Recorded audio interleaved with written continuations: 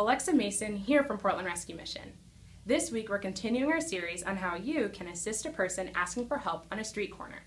Last week we talked about being prepared.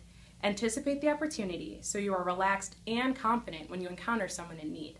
This week's tip is just as simple. Treat the person the way you would anyone else. Smile and say hello. Go out of your way to approach rather than avoid them. Acknowledging the person shows respect and gives them dignity. A while back, I was talking to a woman while she was on the side of the road, and I think she captured it best. She said it means more to her when people roll down their window and say hi than when they actually give money. Remember this next time you see someone asking for help, and check back next week for tip number three.